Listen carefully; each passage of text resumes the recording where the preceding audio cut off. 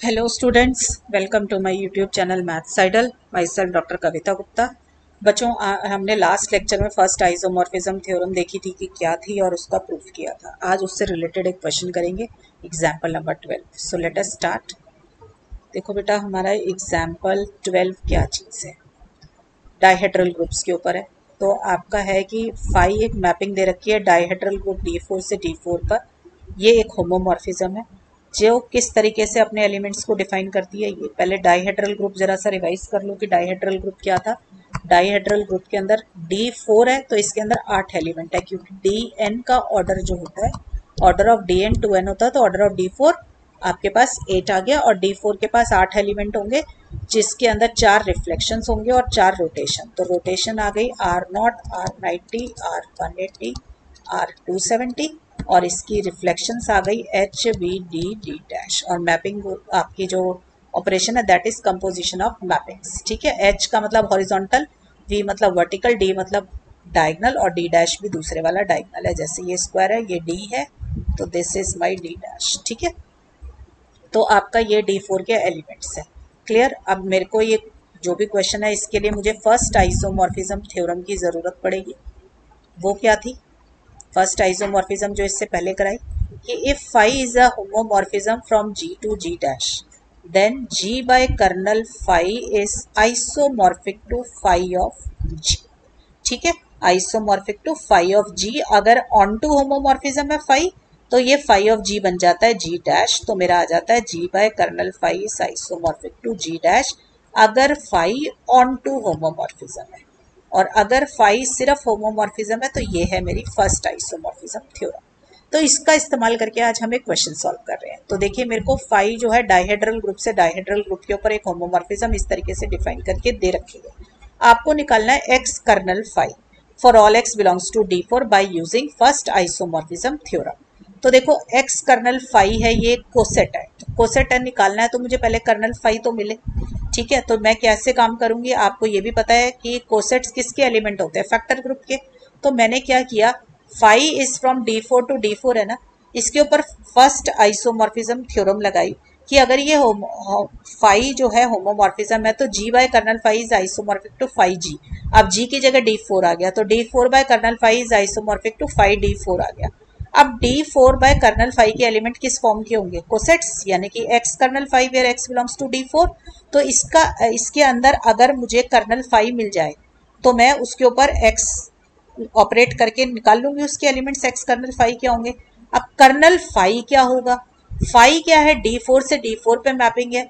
तो colonel phi क्या होगा? आप देखिए कि कर्नल फाइव के पास कितने एलिमेंट्स आ जाएँगे? जो आइडेंटिटी पे मैप होंगे। यही होता है ना कर्नल फाइव की डेफिनेशन यही कहती है कि सारे set of all those elements of the domain which are map to the identity of codomain तो आपको पता है कि आर नॉट हमेशा आइडेंटिटी या आइडेंटिटी हमेशा आइडेंटिटी पे मैप होती है। ठीक है? और दूसरा आर वन एटी जो है आपका that is being mapped to किस पे है? देखो, ये देखो जरा। यहाँ पे देखो। आर नॉट पे कौन कौन मैप्ड है? यहाँ क्वेश्चन से देखा phi of R naught R naught है और phi of R one eighty R naught है। क्वेश्चन में गिवन है। इसका मतलब आइडेंटिटी पे सिर्फ़ यही दोनों एलिमेंट मैप हो रहे हैं, क्योंकि और किसी की इमेज नहीं आ रही है यहाँ पे। ये देख रहे हो आप? यहाँ पे किसी और की image R nine R naught नहीं आ रही है। तो मुझे क्वेश्चन से पता चला कि R naught and R one eighty are those two elements of the domain which are map to the identity of codomain तो ये दोनों एलिमेंट आर नॉट और आर वन एटी किसके आ जाएँगे? कर्नल फाइव के एलिमेंट्स आ जाएँगे। तो मुझे चाहिए एक्स कर्नल फाइव तो एक्स कर्नल फाइव है तो एक्स कहाँ से आ रहा है? डी फोर से। तो डी फोर के ऊपर ये कर्नल फाइव के एलिमेंट्स ऑपरेट कर दो। तो क्या आ जाएँगे? डी फोर के तो आठ एलिमेंट है। ठीक है तो आर नॉट कर्नल फाइव फिर R one eighty kernel phi ऐसे ही आर नाइन्टी कर्नल फाइव सारे एलिमेंट एक्स के जो हैं, इसके ऊपर ऑपरेट कर दो। मैंने एक्स के सारे एलिमेंट आपको बता भी दिए।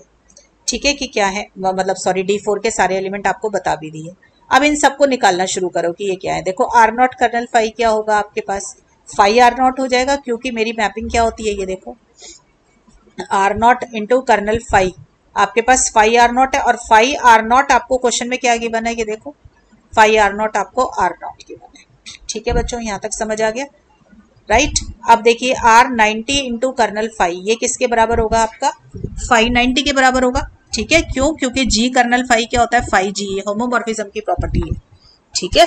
होमोमॉर्फिज्म की प्रॉपर्टी क्या है? Phi is from G to G dash is a homomorphism then phi of G क्या होता है? जी कर्नल फाइव होता है। ठीक है तो R naught kernel phi phi R naught के बराबर हो गया। R ninety kernel phi phi R ninety के बराबर हो गया। और फाइव आर नाइनटी आप क्वेश्चन से निकालेंगे, ये देखो।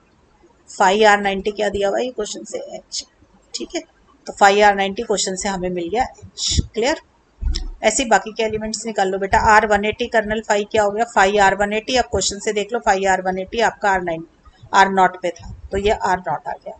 ऐसे ही आर टू सेवेंटी का निकाल लिया। ठीक है तो आपने सारे एलिमेंट इसके ऊपर ऑपरेट करके देख लिए एच का भी देख लिया वी का डी का डी डैश का। सबकी प्री ये लेते जाइए, phi H phi V phi D phi D dash ये सब क्वेश्चन से आपको मिलते चले जाएँगे। तो मैंने ये जो by five six seven eight लिखा हुआ है ना, ये ये वाली इक्वेशन लिखी हुई है। ठीक है, सबको क्वेश्चन से निकल गया आंसर क्लियर हो गया बच्चों सबको? तो direct use of first isomorphism theorem उससे मुझे ये एक्स कर्नल फाइव बहुत आराम से मिल गया. वरना मुझे कर्नल फाइव के साथ सारे एलिमेंट एक्स के ऑपरेट करने पड़ते. तो ऑपरेट तो मैंने अभी भी किए बट जब उनको ऑपरेट किया तो उनको ऑपरेट करने में मुझे आसानी होने लगी. देखो एक्स कर्नल फाइव में आर नॉट कर्नल फाइव निकालने के लिए मैंने डायरेक्ट फाइव आर नॉट निकाल के यहाँ पे आर नॉट निकाल दिया. क्लियर हो गई सबको बात? ठीक है बच्चों? सो आज के लेक्चर में एक ये क्वेश्चन करना था। नेक्स्ट क्लास में और पढ़ेंगे। टिल देन पढ़ाई करते रहें। All the best